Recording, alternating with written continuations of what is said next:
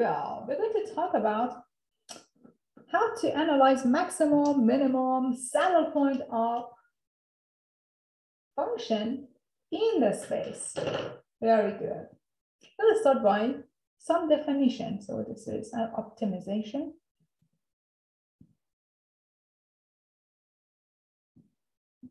Let us start by definition. In math, the most important step is the definition. The very first definition is local minimum and local maximum. Extreme values. A function f,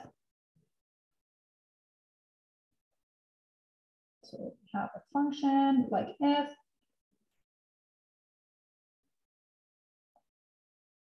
has a local maximum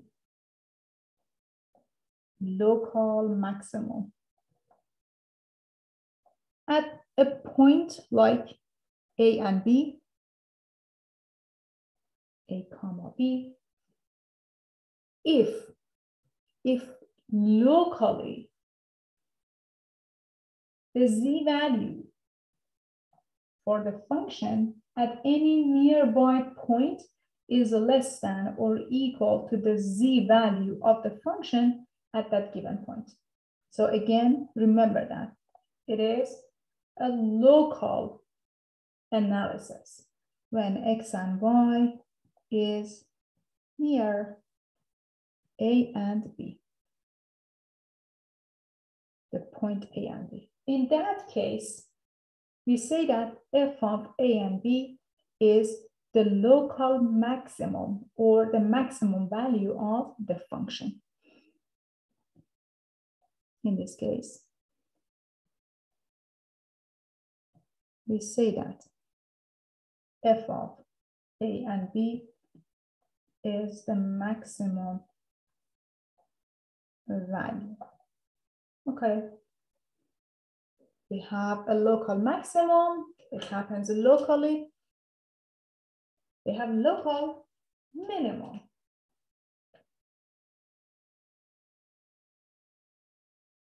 Definition. A function f of x and y has the local minimum at a point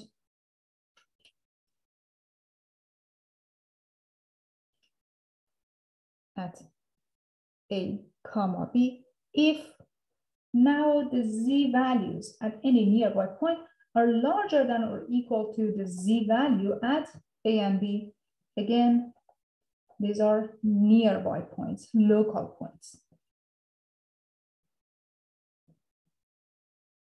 In this case,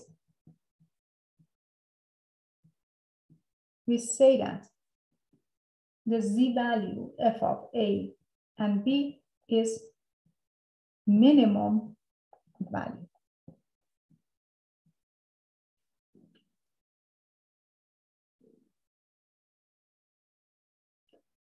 When do we say we have absolute minimum, absolute maximum? If these points are all over the domain. So it doesn't have to be exactly near A and B. For any set of points in the domain, if you have this inequality, you're going to have an absolute maximum, absolute minimum. Just a quick note for you.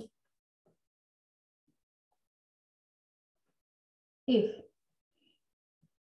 the above inequalities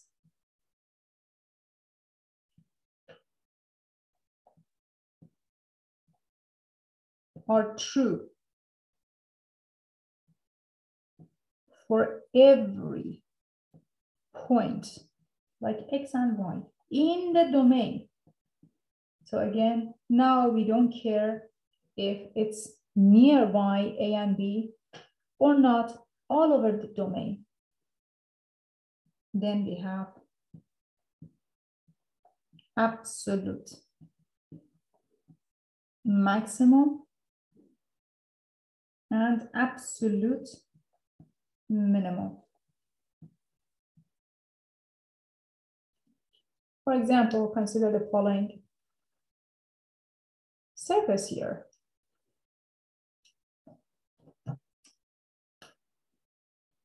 For the surface in the space,